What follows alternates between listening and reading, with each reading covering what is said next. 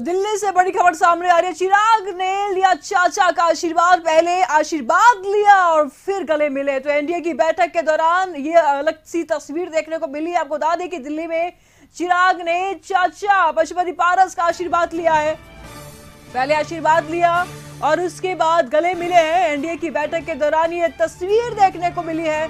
तो पहले आशीर्वाद लिया चिराग पासवान ने पशुपति पारस से और उसके बाद गले मिले एनडीए की बैठक के दौरान ये अलग सी तस्वीर, तस्वीरें आपके सामने एक्सक्लूसिव तस्वीर लगातार आपको टीवी स्क्रीन पर दिखा रहा है। तो तस्वीरें आप साफ़ तौर पर देख पा रहे हैं, किस प्रकार से चिराग पासवान ने पशुपति पारस से पहले तो आशीर्वाद लिए और उसके बाद गले मिले। तो कल तक बयान कुछ और आ रहा था। कल तक कुछ और ही तस्वीरें आ रही थी। अनबन की तस्वीरें आ रही थी, लेकिन अभी की जो तस्वीर है, जो आपको टीवी स्क्रीन पर दिखा रहे हैं, इस तस्वीर में आप साफ़ तौर पर देख पा रहे हैं, चाचा भतीजा अब एक हो गए ऐसा लग रहा है क्योंकि चाचा भतीजे ने चाचा की आशीर्वाद ली और उसके बाद उनसे गले मिले दिल्ली से एक्सक्लूसिव तस्वीर लगातार कशिश न्यूज़ आपको टीवी स्क्रीन पर दिखा रहा संपादक अशोक मिश्र जी। इस पर तमाम जानकारी के लिए हमारे साथ जुड़ चुके अशोक जी, ये तस्वीरें क्या कुछ बयां करती है? क्योंकि कल तक जो हम खबर ये दिखा रहे थे कि अनबन चल रही चाचा भतीजे में सीट को लेकर के अब तस्वीरें ये बयां कर रही है कि सब कुछ ठीक है इस रिश्ते में। क्या कुछ कहेंगे आप? बिल्कुल देखिए निशु राजनीति के भी रंग अलग अलग होते हैं और राजनीति में जो हाँ होता है वो ना होता है और जो ना होता है वो हाँ होता है। तो ये तस्वीर जो हम अपने दर्शकों को दिखा रहे हैं वो राजनीति का जो असली रंग है वही हम दिखा रहे हैं अपने दर्शकों को कि देखिए किस तरह से बाहर में सियासत होती है और अंदर में दोनों एक दूसरे का होने का एक तरह से कहिए कि नाटक करते हैं। चिराग पासवान ने यह दिखाने की कोशिश की है भले ही उनके राजनीतिक दुश्मन हो, पशुपति कुमार पारस जो उनके चाचा हैं, लेकिन चिराग पासवान अभी भी उनकी कदर करते हैं।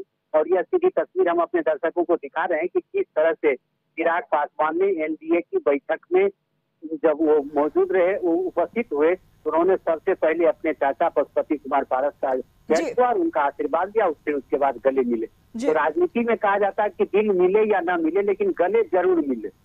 मिलो। और यही तस्वीर यह बता रही है कि भले ही दोनों एक दूसरे के राजनीतिक दुश्मन है लेकिन गले मिलकर करके यह जताने की कोशिश की रहे कर रहे हैं कि इन दोनों की जो दूरी है वो दूरी धीरे धीरे खत्म हो जा रही है।